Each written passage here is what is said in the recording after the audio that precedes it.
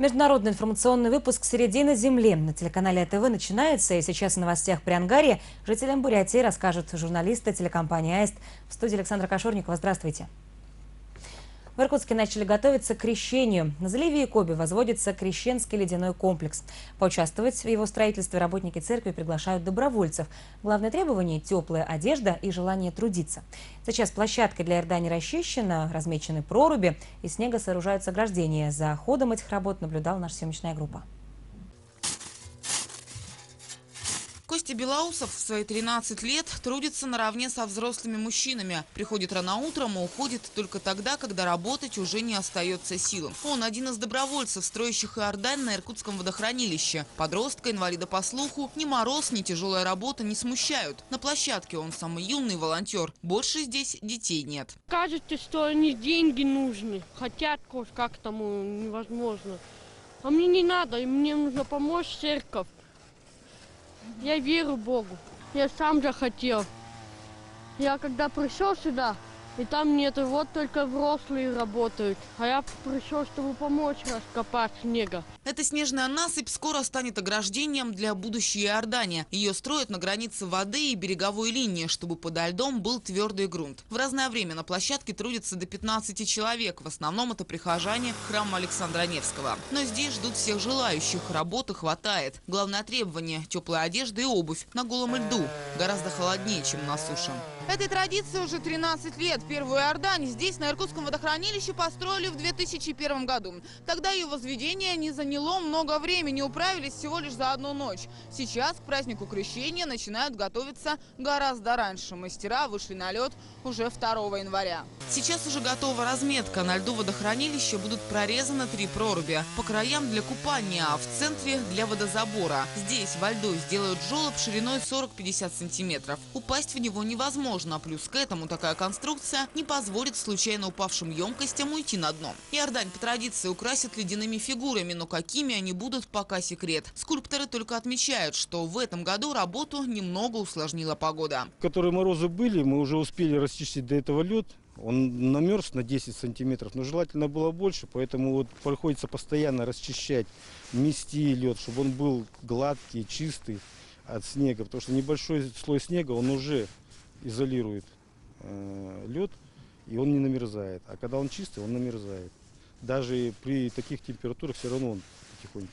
И за неделю, я думаю, мы все-таки выйдем на свой рубеж. Иордань будет соответствовать требованиям безопасности. За этим следят ответственные структуры. 19 января крещение. Верующих здесь ждут с 10 утра. В это время начнется крестный ход из церкви к заливу Якоби, а затем состоятся молебен и освящение воды. Галина Тюрнева, Николай Крупченко. Новости сейчас. Заменено 90% деталей и тех узлов. В Иркутске на линию вышел трамвай после капитального ремонта. Такой вид восстановления общественного транспорта в трамвайном депо применен впервые. Все изменения и улучшения оценил наш корреспондент Артур Харламов. Экономия электрической энергии до 37%.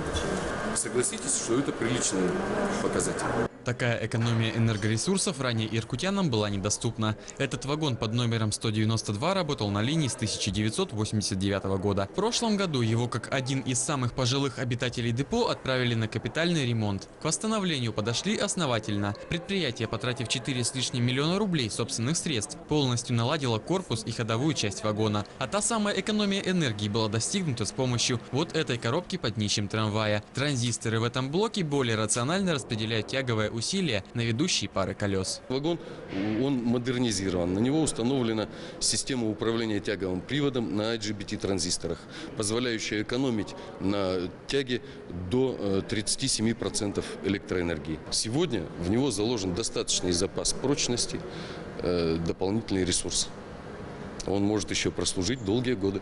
Модернизации и доводки подверглись не только корпус и ходовая часть вместе с электрикой. Полностью была проварена рама трамвая, а еще мастера позаботились и об удобстве пассажиров. Изменения в отремонтированном вагоне видны буквально с первого шага, как только попадаешь в салон. Прежде всего, это тепловая завеса, которая поможет не замерзнуть во время холодов. А еще здесь есть антискользящее покрытие, которое обеспечит безопасность всех пассажиров. Но это еще не все.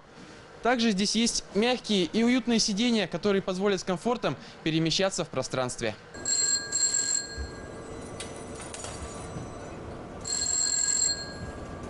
А вот и первый выезд из парка. Сначала обновленный трамвай делает пробный круг по путям у депо. Все в норме, и теперь вагон может выезжать на маршрут. Такой опыт капитального улучшения транспорта впервые применен в Иркутском трампарке. Теперь в очереди на апгрейд стоят еще 49 единиц электротехники, а всего в парке 58 вагонов. Артур Харламов, Евгений Шарыпов. Новости сейчас. Рождественские посиделки и святочные гадания в Краеведческом музее Иркутска.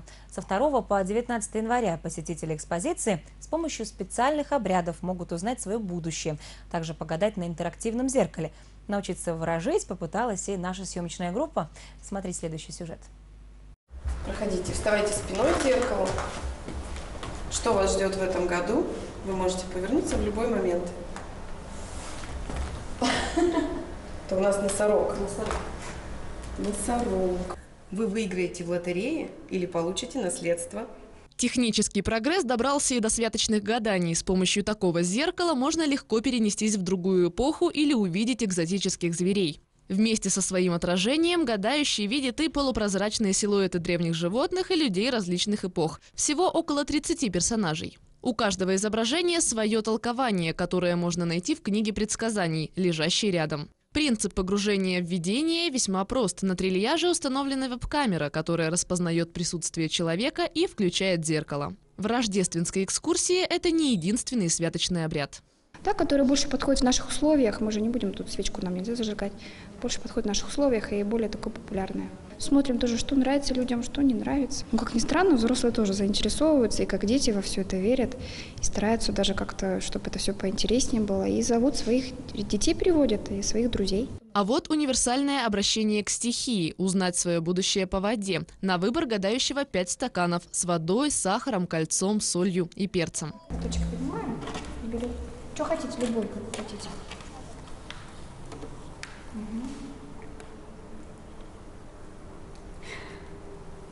Перец. Сахар. О, сладкая жизнь, остренькая такая с перчинкой будет. Помимо традиционных русских ритуалов, гостям предлагается старинное бурятское поверье. Нужно загадать желание и бросить варежку за спину. Большой палец рукавички наверху – быть исполнению желания. Если же палец оказался внизу, загаданное не сбудется. Нас это так заинтересовала эта тема, то мы вечером соберемся с ней и тоже прибегнем к нашим гаданиям на картах, которые мы с ней периодически практикуем. За всю мою память лишь однажды гадание меня подвело. Во все остальные случаи оно сбывалось. И очень хочется верить, что все эти гадания, они на самом деле сбудутся, и все будет здорово в новом году. У нас гораздо меньше внимания уделяется э, вот, религиям, традициям э, и прочему-прочему, но такая вещь, как гадание, естественно, практикуется немножечко по-другому, само собой. Музейные гадания лучше посещать небольшой группой в 2-3 человека. Тогда предсказание будет точнее. За новогодние праздники в музее поворожили уже более 20 человек. Антонина Махнева, Любовь Фефилова, Александр Мокин. Новости сейчас. У 22 забайкальских страусов на единственной в Сибири и Дальнем Востоке страусиной ферме 20-градусные морозы начался брачный период. Подробнее об этом расскажет моя коллега из телекомпании «Альтес» Дарья Пьяникова. Коллега, здравствуйте, вам слово. Здравствуйте, Александра. Как показала практика, забайкальским страусам не страшны ни морозы, ни перепады температур. Они обитают здесь уже три года, приспособились и не требуют особенного ухода и услуг ветеринара. Яйца у страусов появятся только в мае. И если в естественных природных условиях птицы откладывают их в горячий песок, то в забайкальские морозы их хозяевам приходится прибегать к специальной технике. А теперь к другим темам. Движение по транспортной развязке в районе Каштакского кольца открыто, однако официально этот объект полностью не готов. До сих пор нет дорожной разметки, пешеходных переходов и остановок общественного транспорта. Можно ли считать такой исход финалом долгожданной развязки, разбиралась Светлана Тулунова. На месте бывшей остановки общественного транспорта сегодня песчаная насыпь. Место, куда подъезжали автобусы и маршрутки, сравнялись с землей еще в самом начале строительства. Однако жители Каштака по привычке, теперь уже рискуя собственной жизнью, пересекают дорогу именно здесь. Впрочем, понять их можно. Ближайший пешеходный переход располагается под виадуком, а на этой дороге установлен лишь знак, который многие водители либо не видят, либо просто игнорируют. Нет нигде ни перехода, ни пройти, ни выйти. Школьники ездят как попало и где попало перебираются. А теперь дорог стало еще больше в два раза, а перехода ни одного. Мучаемся, особенно трудно пенсионерам и детям. Есть водители более такие порядочные, останавливаются, пропускают, а в основном ползком, бегом. Пешеходы, перебегающие дорогу, доставляют неудобства и тем, кто за рулем. Особенно это касается водителей маршрутных такси. Тяжеловато, напрягает, потому что дороги не сделаны. Здесь пассажиры ходят и не знают, куда приткнуться, на какую полосу. Вроде как мост открыли, вроде немного получше стало, но там нет ни пешеходного перехода, вернее дорожки, ни знаков, ничего. И поэтому люди в растерянности.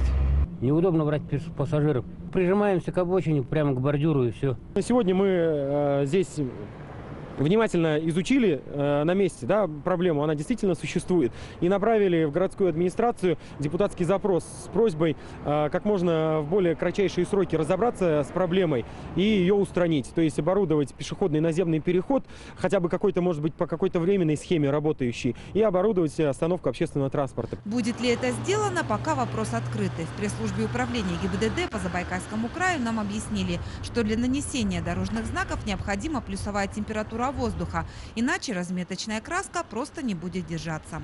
Светлана Тулунова, Екатерина Станиславская, Евгений Погорелый. Время новостей. В Улан-Баторе состоится фестиваль монгольской скрипки. Организатор мероприятия – Всемирная ассоциация исполнителей на Маринхуре. Подробнее об этом расскажет ведущая программы новостей телекомпании «Аист Монголия» Эрдена Нямпуров-Дорж. Здравствуйте, коллега! С 27 апреля по 2 мая 2014 года в Улан-Баторе пройдет четвертый международный фестиваль традиционного монгольского музыкального инструмента «Маринхур». Об участии в предстоящем фестивале уже заявили музыканты и исполнители-любители из Китая, России, США, Германии и Японии. Первый фестиваль Маринхура а, состоялся в 2008 году, второй в 2010, третий в прошлом году. В этом году в мероприятии помимо зарубежных музыкантов примут участие около 200 исполнителей из Монголии. А теперь к другим новостям столицы. О них жителям Бурятии расскажут корреспонденты новостей НЦАКТ и я, Правдоша Даныня. Получайте консультацию врача, не выходя из дома. Такое новшество ввел Национальный центр социального здравоохранения. Связаться со специалистами теперь можно через интернет. Тему продолжит Далгар Сурен. В составе 13 человек Национальный центр здравоохранения трудится над тем, чтобы перевести всю информацию, а также помочь связаться с врачами через интернет. Любой желающий сможет проконсультироваться со специалистами через социальные сети Twitter и Facebook. Граждане смогут получить консультации врачей. Работает специальная группа, которая ответственна за звонки и письма жителей столицы. За сегодняшний день к центру подключились почти 2000 человек. Вопросы задают по поводу состояния здоровья, а также по уходу за ребенком. Ответы на вопросы и консультации мы будем предоставлять постоянно. Сейчас наша программа только стартует. Уверена, что все больше людей оценит эту функцию. Теперь не обязательно вызывать скорую помощь. Вы сможете обратиться за советом к врачу через интернет. Национальный центр обещает предоставить максимально оперативные ответы. Также на сайте можно найти профилактические видеоролики. На сайте Центра социального здравоохранения можно не только обратиться за помощью, но и посмотреть видеоуроки для молодых мам, а также по оказанию первой помощи. Талгор Сурен и Пелик Айс, Монголия. Кредит у хлопот. Созданием кредитного гарантийного фонда у предпринимателей малого и среднего бизнеса появилась возможность получить кредит до 250 миллионов тугриков. Для этого требуется только собрать полный комплект документов и обратиться в банк. Слово «цензурен». Ценджав Гуай профессия педагог. С 2008 года из-за низкой зарплаты он перешел в частное предпринимательство и создал компанию Нойон Норул Аргил. Его предприятие изготавливает мебель для дома. Раньше Ценджав Гуай работал один, но со временем цех расширился и сейчас в его подчинении 8 работников. Но для того, чтобы расширить производство еще, требуется кредит на большую сумму. Здесь ему и помог фонд. Я очень рад, что смогу получить кредит через этот фонд. Другие организации не давали одобрения на получение кредита, потому что считали, что у нашего предприятия не хватит мощности выплатить его. Кредитный гарантийный фонд пригласил предпринимателей малого и среднего бизнеса на встречу с представителями банков страны. Главными вопросами для обсуждения стали трудности при получении кредита, его погашении и установленные сроки выплат. С пакетом документов вы сможете обратиться в любой банк, а он уже соединит вас с нашим фондом. Представители малого и среднего бизнеса для получения кредита должны представить полный комплект документов. После полного анализа представителей банка, желающих получить займ, осоединяться с кредитным гарантийным фондом. Максимальный размер кредита – 250 миллионов туриков. Ценцурен и Пелик Айс, Монголия. Это были новости Монголии. Как будут развиваться события, расскажем в очередном выпуске. А сейчас я передаю слово нашим коллегам из Китая. На связи корреспонденты CCTV «Русский» из Пекина. Телеканал CCTV «Русский» приветствует зрителей программы «Середина Земли». В студии Максимилиан Раздольский. В ближайшие минуты я и мои коллеги расскажем о некоторых событиях в Китае. Детский мир становится все более прагматичным. Родители готовы тратить на игрушки для своих детей намного больше, чем 10 лет назад. При этом упор делается не на внешнем виде, а на технологичности. Производители обучают плюшевых медведей разговаривать с малышами, а зайцев делают учителями иностранных языков. Наши корреспонденты побывали на 40-й ярмарке игрушек в Сянгане и поняли, что современное детство просто невозможно без актуальных девайсов. Железный человек будто оживает, стоит лишь поднести к нему планшетный компьютер. Программу, которая преобразует обычное изображение в формат 3D, можно за секунду скачать в iTunes. При этом неважно, какой у вас гаджет. Программа способна распознать миллионы известных объектов и предметов и оживить их на дисплее. До последнего времени была пропасть между компьютерными играми и реальными предметами. Теперь мы можем оживить плюшевого мишку, Барби или Человека-паука при помощи гаджета и лишь одной программы. Они будут разговаривать с ребенком, они могут их обучать, если приложение подразумевает те или иные действия. Любимая игрушка станет другом и партнером ребенка. Скоро она сможет с ним разговаривать на разные темы. Мы над этим сейчас и работаем. Впрочем, несмотря на любовь к технологиям, создатели никогда не откажутся от мягких игрушек. Правда, теперь при одном касании iPad любимый медвежонок может станцевать или сказать что-нибудь забавное. А этот кролик с сенсорной мордашкой легко обучит вашего ребенка новым словам, в том числе иностранным. Взамен потребует лишь подзарядку в конце дня. So, uh, this is Tutu, and in order to do a good Каждый раз после успешного занятия зайке за хорошую работу нужно дать волшебный леденец. Все дети в восторге от того, как он радуется лакомству и становится счастливым. Классика тоже не выходит из моды. Модели роскошных спорткаров и сказочные кукольные домики пользуются колоссальным спросом. Согласно статистике, за последние 10 лет запросы к игрушкам сильно выросли, как и их цены. Родители готовы тратить гораздо больше на технологичные новинки для своих отпрысков, сами проявляя к ним интерес. В последнее время родители смотрят на игрушки не просто как на развлечение, а как на способ, который поможет развивать детей. Особенно такую потребность высказывают покупатели из Китая. Именно поэтому многие производители создают свои новинки с учетом последних желаний потребителей. В этом году в Сянганской ярмарке игрушек приняли участие более двух тысяч производителей из почти 40 стран мира. Впервые свои товары представили компании из Португалии, Филиппин и Республики Беларусь. Марина Мышко, Сергей Чудинов, ССТВ. Хорошая новость для книжных магазинов, в том числе и для коммерческих. Минфин Китая освободил их от налога на добавленную стоимость. Напомню, он составляет 13%. Ранее такой привилегией пользовались лишь некоторые государственные магазины. Но пока продавцы привыкают к льготам, покупатели с нетерпением ждут снижения цен на книги. Юмяо, генеральный директор коммерческой сети книжных магазинов Цифэн Крунхайун, был крайне взволнован, когда услышал об отмене налога на добавленную стоимость и не мог дождаться, чтобы поскорее рассказать об этом коллегам. В последнее время дела у них шли не лучшим образом. Причина в постоянном повышении арендных ставок, заработной платы сотрудников и жесткой конкуренции со стороны интернет-продавцов. Крупнейший из магазинов Цифэн 15 лет располагался на одной из центральных станций по первой ветке метро. Мяо говорит, что аренда помещения здесь стала непомерно высокой, и в апреле прошлого года точку пришлось перенести подальше, на десятую линию. Для нас отмена 13% налога на добавленную стоимость – это серьезное послабление. НДС отнимал внушительную долю нашей прибыли. Теперь затраты значительно снизятся. Думаю, мы будем стоять на ногах гораздо крепче.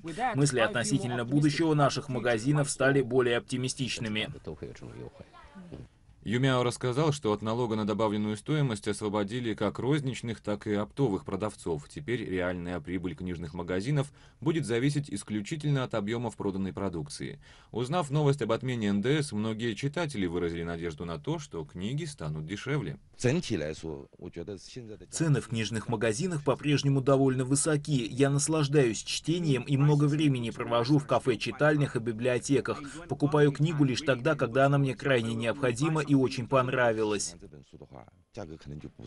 Юмяо говорит, что цены на книги в ближайшей перспективе не изменятся. Расходы на эксплуатацию магазинов слишком высоки. Налог отменен, но вести бизнес по-прежнему затратно. Потребуется какое-то время, чтобы сделать доход высоким и стабильным. Но Ю не исключает, что в будущем предоставит читателям хорошие скидки. Снижение цен на печатную продукцию не предрекают и другие представители книжного бизнеса.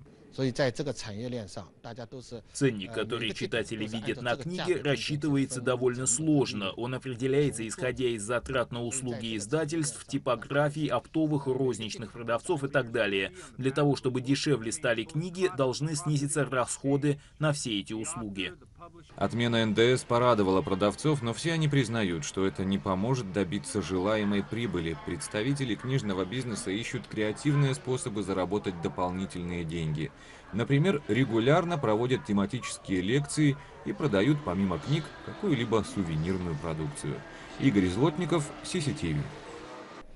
Ну что ж, это все, о чем мы хотели рассказать вам сегодня. Всего доброго и до встречи в эфире.